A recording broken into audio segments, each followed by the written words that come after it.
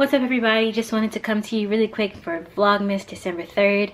Um, something that I was thinking about, I actually was spending time with some friends earlier today and we were talking about um, disciplining our kids and just, you know, how we grew up and how that relates to how we parent our kids now. And one of the things that we talked about was, um, you know, do we discipline our kids because they inconvenienced us or is it because they actually did something wrong?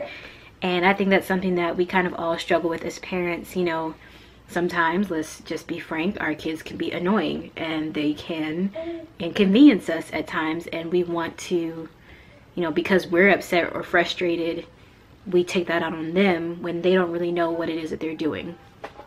Um, and so it's definitely an area that um, I need to grow in.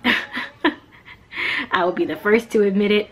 Um, I have disciplined and given consequences for things that probably the kids didn't need. Um, so it's always an area of development, I think, um, especially when our kids are young, to help them to see that um, our, uh, just because they inconvenience us, it doesn't mean that they have done something wrong or that something is wrong with them and we're not irritated or frustrated with them. Um, and so, I don't know, I just wanted to bring it to you. What do you guys think are some ideas um, to exercise patience with your children? I will definitely say though, we give consequences a whole lot less um, than we used to. There's a, a, lot more conversation going on, and not everything um, warrants such. Um, not everything warrants a big, you know, disciplinary action or anything like that. I just think it's it's it's there's ebbs and flows. There are going to be seasons where you know there's discipline going on a lot more.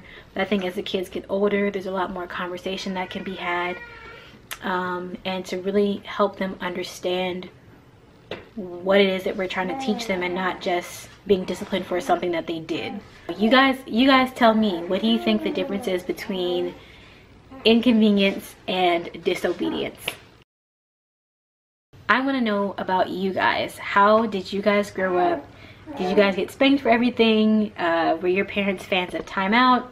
Um, a mixture in between? Did you just not get anything at all? You know, some of us are out there like that.